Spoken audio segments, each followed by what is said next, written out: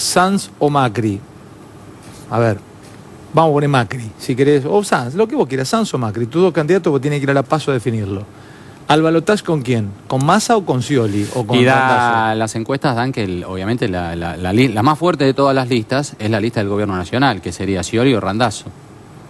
A ver, Ahora, ¿sabés el gobierno una- nacional es eh, muy profesional pero- haciendo las cosas, ¿eh? Ojo que no es que son tontos, no es que son brutos, no, no. Como decimos, no, como decimos en el pueblo, no los comprés por boludo. Claro, no hay que subestimar a nadie.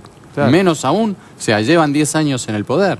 Y, e hici- uno no está de acuerdo, pero hicieron todo lo que hicieron porque conocen de esto. Y lo que nosotros debemos hacer, desde lo que entendemos que es el lado bueno, es ser también muy adecuados, ser serios y lo más importante, hacer lo que la gente nos pide, que es unirnos. Pues es que en las guerras siempre hay, se necesita un tipo así como vos que no siempre te destruya al enemigo.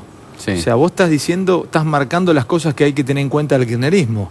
O sea, si, es- si esta gente hace las cosas ordenadamente y bien, Pueden ganar en primera vuelta. me jodés. Pueden ganar en primera vuelta.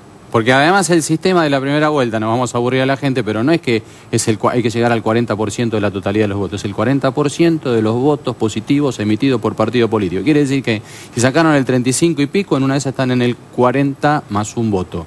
Y si la oposición está exactamente partida, puede ocurrir.